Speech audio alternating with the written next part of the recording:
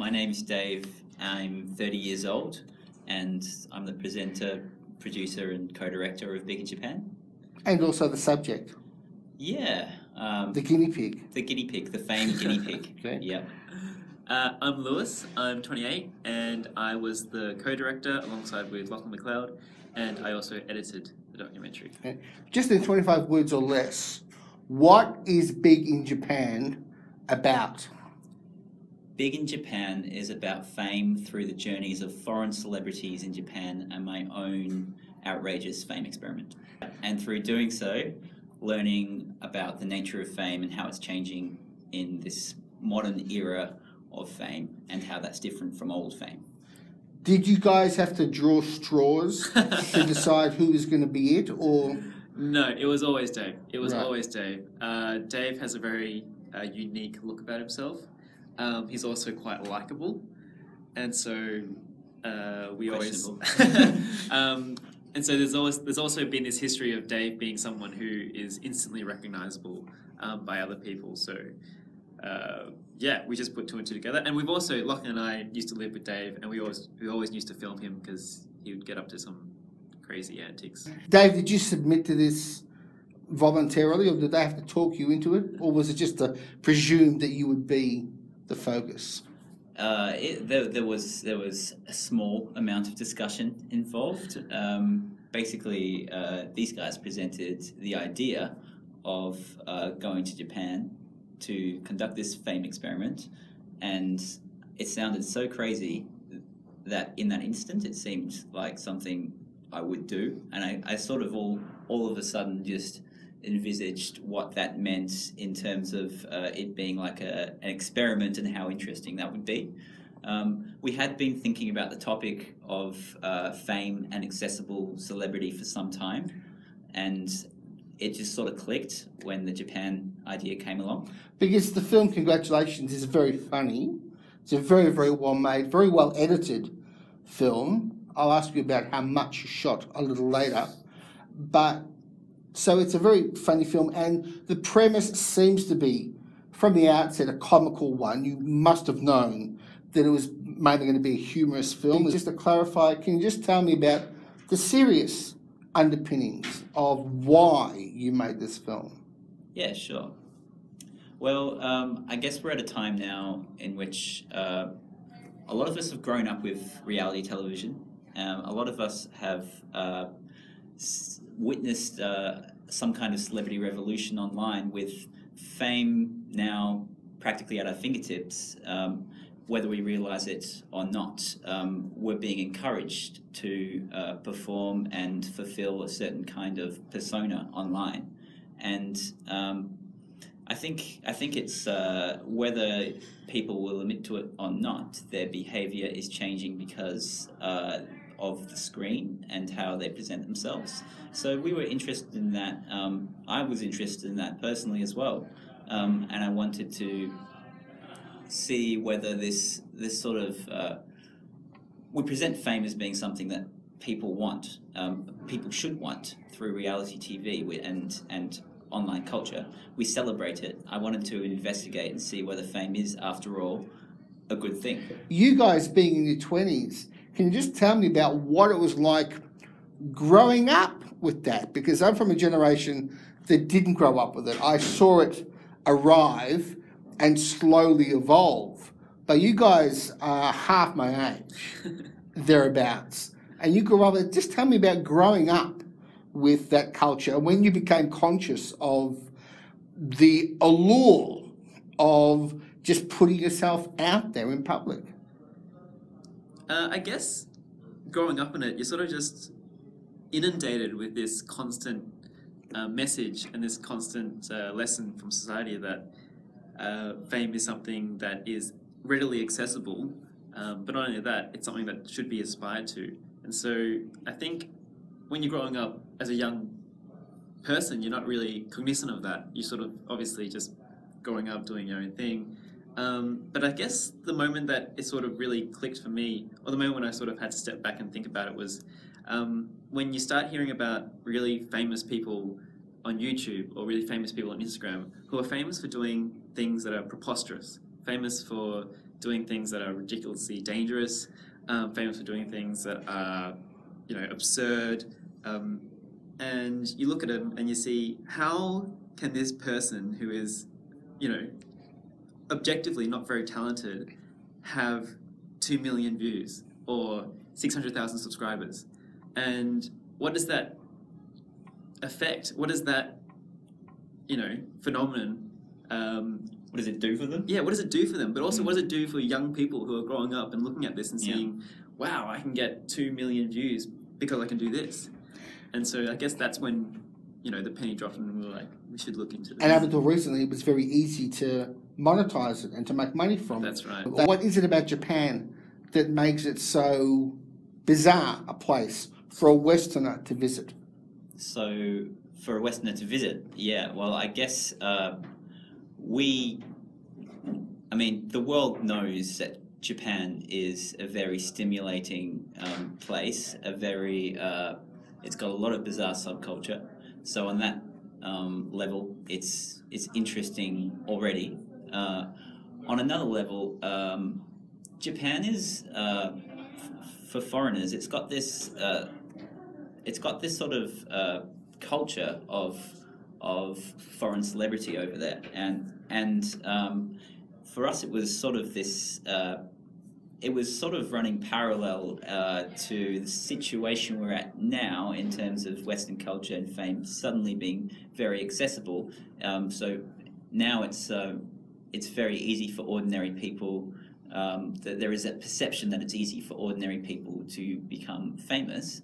Um, well, that sort of phenomenon has been existing for years in Japan. Um, ordinary Westerners who don't know any Japanese or uh, have never acted before are being um, launched into the limelight and have, um, you know, um, careers that they can live off. Uh, mostly doing slapstick things on television, which is just hilarious. And we thought we'd we'd uh, we thought that would be a nice uh, comparison point and also hilarious to watch. Yeah, you- because yeah, the reality is somebody like Dave who doesn't, who's never acted before, uh, who's got no theatrical talent, would realistically have no chance of getting on stage or on screen or on a TV ad in Australia. But in Japan, on the virtue of his foreignness um, and the look that he has, uh, is able to get onto an ad for you know a major car company in Japan. True. Okay. So uh, in that sense, it's like a safeguard for the experiment. So what if we made this whole doco about me trying to get famous on the internet, um, and I didn't ever get to experience that fame? That would be. Um, a bad result for the documentary. so it was a way to ensure that I did actually. I'm not going to give too much away, but I may. I may have experienced a bit of that fame. So um, I can therefore comment on it. Now, while you uh, were there trying to get famous, you also were working as a teacher. All of you were working as teachers, Yeah. presumably just to sustain yourselves, so you could, so you wouldn't go broke, so you true, could just stay yeah. over there. So you did appear in a number of commercials and TV shows. You got quite regular work as a foreigner, as an actor there. How much did you actually make compared to your teaching? Could you have given up the teaching to do the um, the, the, the the acting work? Because there is a scene where you you mention how often you're having to call in sick Mm. for your teaching job, so you could do this this other work. Yeah. So yeah, it was quite quite well paid. Some of them were ridiculously well paid. Uh, and when you consider the, the caliber of acting, which is pretty low, it was uh, just astronomical. So to give you an idea, my highest paying gig was um, three and a half US dollars for two days' work. Three and a half thousand. Three and a half, three and a half thousand US dollars for two days' work. And how much was the teaching earning you? Teaching, um, uh, teachers get paid roughly uh, 30 Australian dollars an hour in Japan. Okay. Yeah, pretty good. Okay, now you were there about a year Mm. going through this experience, and overall, would you consider the the experiment a success?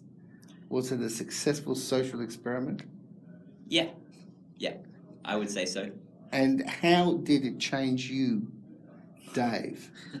Having Uh, gone through this roller coaster, for the sake of the cameras, we have to say you didn't do it as as as a, something that you needed to do. You did it for the sake of the documentary. But even with that caveat, how did it change you? What did you learn from it? Well, um, I I developed this sense of separation from me for this me the sc- in the screen and in the camera, um, in terms of my my um, not the documentary, but in terms of uh, what I was doing for fame, and that was sort of a dealing. Um, uh, mechanism for me, I think. Um, so yeah, sure. I mean, I think it's like that coping mechanism that people do when they're like, you know, when there's people looking at them, and that's I think what people who become famous and people who want to become famous have to deal with. It's that separation of them as a person and them as the figure that people see. And I think Dave experiencing that is Yeah, it's Pretty key. interesting. I think everyone that we interviewed uh, had that separation. Um, maybe not some of the YouTubers who are just starting to experience the fame, that then maybe their identity in real life was not too different from their, their identity uh, in their vlogs. But um, for the most part, those that were uh, at least some way up the ladder, they had that very obvious separation.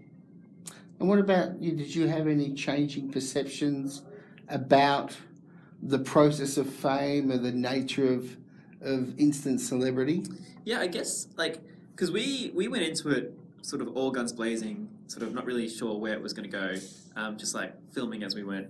And the first sort of person that we kind of um, got involved with was uh, Bob Sapp, who was this like you know six foot five American former wrestler. He's a former wrestler Yeah, who's basically over there now.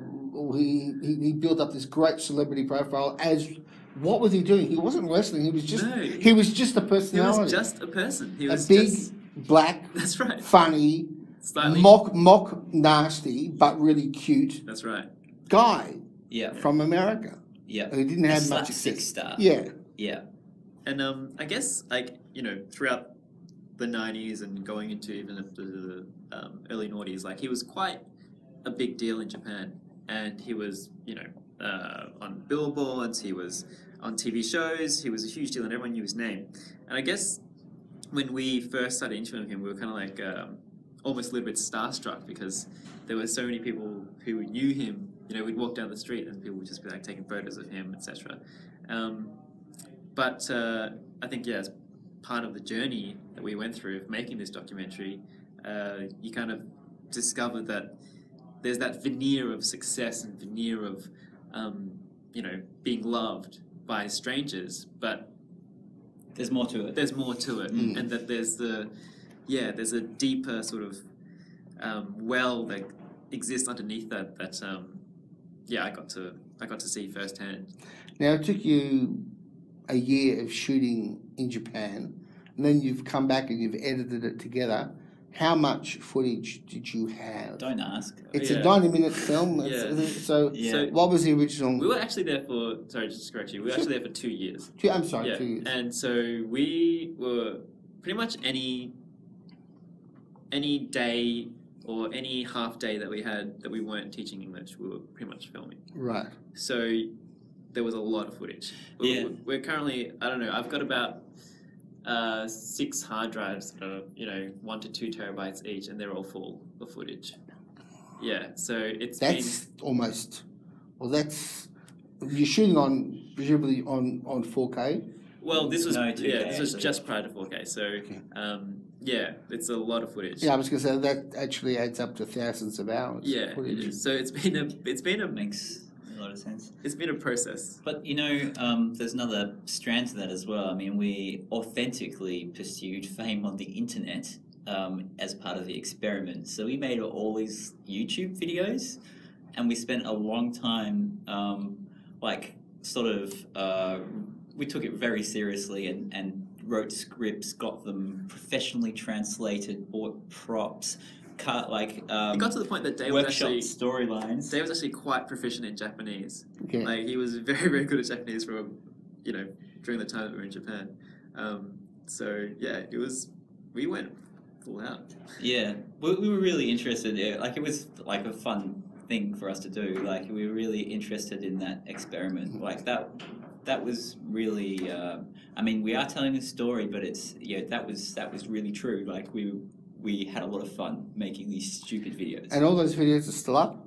They're still up. They're still up. Yeah. Have you For monetized better them? or worse? Have you monetized them? Um, no, maybe maybe we should. Yeah. Fantastic. Now, are you guys going to continue making movies together? Ah, yeah, we will. it's just we're gonna take a long break first. yeah, Right. it's been yeah. a it's been a very very hard slog. Well, it has, to it's, and so- yeah. unusually so. yeah. Um, do you have any plans for your next film? Another doco, or are you going to do yeah. something a bit more structured? Uh, we do have a project like no, um, we don't do structured. Yeah, that's yeah, that's a rule. Chaos only. yeah. Uh, we um we do have a project that we've already filmed like a whole lot of, but we can't um talk about exactly what it is, Sure. unfortunately, because it's about a sensitive topic. It's cool. Um, but it is a another fish out of water story Mhm. um, that sort of takes you to another place and makes you think about things. Mhm. Um, and I guess uh, our culture's role in um, certain global issues. So um, that's where I'll leave it. it and I- I guess uh, if there's any stamp that we might have on um, like a style of documentary, I guess it's uh, a uh, we try to make it as human and relatable as possible, um, and we don't try to uh, we don't want to like lecture um, audiences about certain issues. We just want to uh, bring people along on an adventure. So that's that's what the next documentary will be.